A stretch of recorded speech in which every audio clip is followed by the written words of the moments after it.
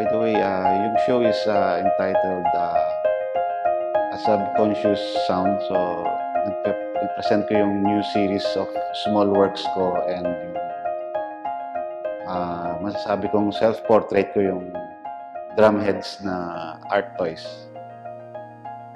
Actually, yung show is uh, more on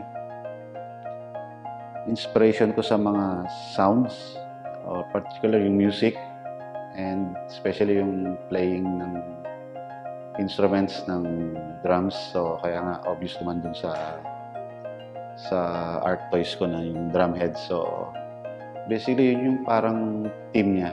No wala namang concept or wala namang idea kasi alam naman natin abstract is more on nasa deeper subconscious ng artist yun eh. So spontaneous lang nalalabas yun. So compared to mga figure na talagang figure, may concept, may idea, di ba? So, abstract is more on deeper, deeper ano ng artist.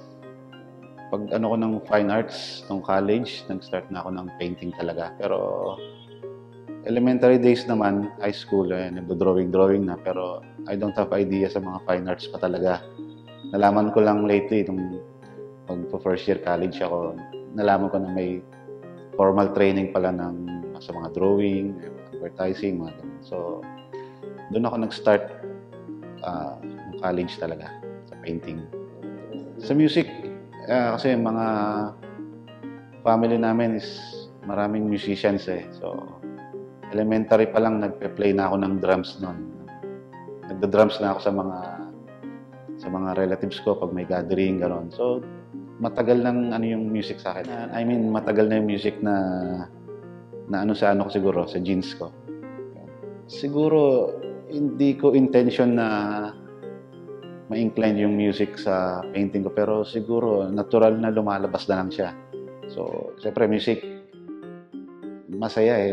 Wala naman tao na hindi pwedeng ma-incline sa music. So, siguro natatransmit ko lang yung music influence ko sa paintings ko naturally.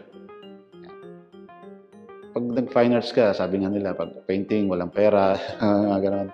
Actually, fine arts, walang pera. So, ewan ko, siguro very, very creative na rin ako. High school pa lang ako, very creative na ako sa school.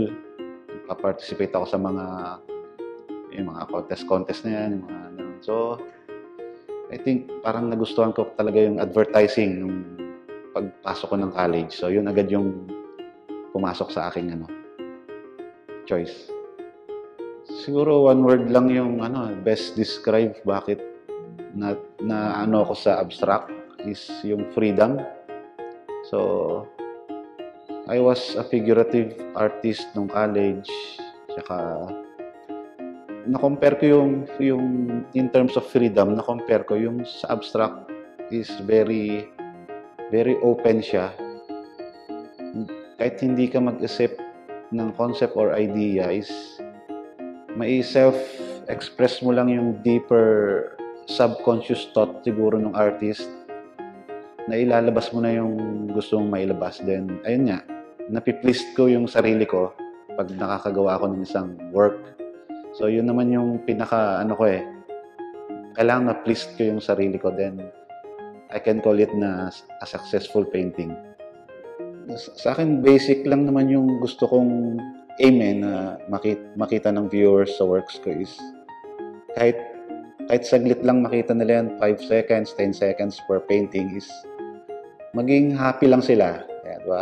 After nila lumabas sa gallery is yung magkaroon sila ng idea na, wow, ang ganda pala, makulay pala yung paligid, di ba? Parang gano'n. So, yun lang happiness lang, yun lang yung masishare ko, gusto kong ma-share sa audience. Happiness. Yeah. Siguro let's counter it with more positive no, outlook sa life.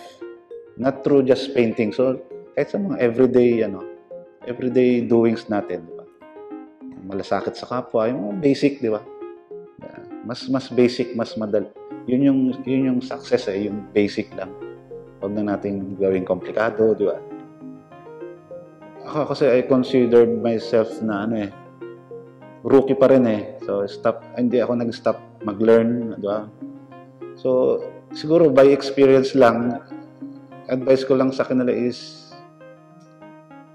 maging magkaroon sila ng inspiration pero pwede naman magkaroon ng influence but ah, dapat huwag kang mag-copy no? kung pag nakita mo na yung isang artwork tama na yung ma-inspired ka pero huwag mo nang kokopyahin so kailangan ma-produce mo yung distinct style mo as an artist para kahit saan mo isabit yan, pag nakita nila, oh, kay Fitz Herrera yan, kay ganito yan. So, be, be natural lang, then mas maganda influence mo lang yung sarili mo mismo. Yun lang, yun lang. Be yourself, sabi nga nila. Basic.